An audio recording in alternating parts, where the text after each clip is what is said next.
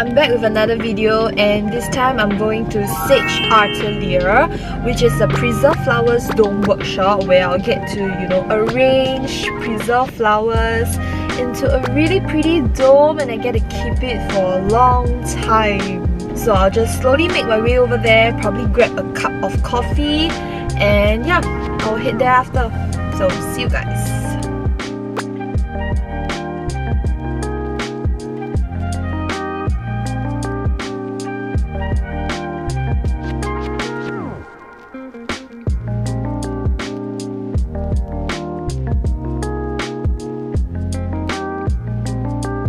We have like the red roses, purple, pink, blue. So we have all these roses here where we can pick. So we pick three of them and we put inside this dome.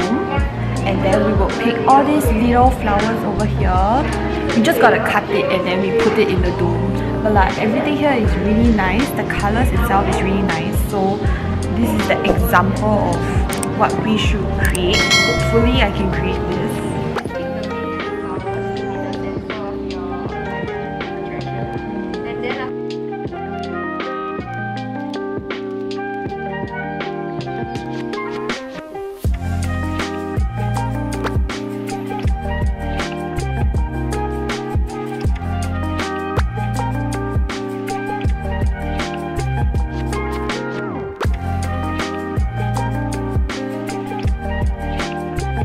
A few moments later.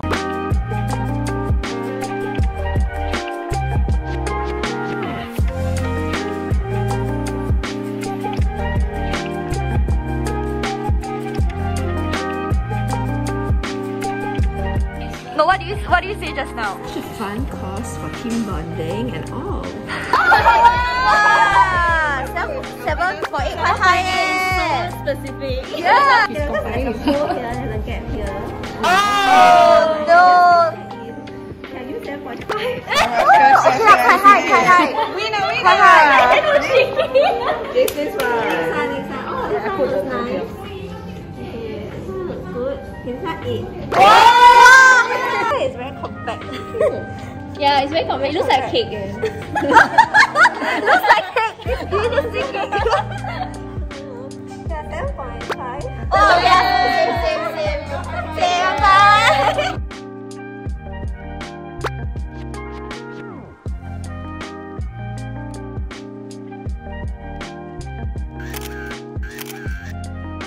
Hi guys, so I got home not long ago and I wanted to show you guys what I actually made from the workshop.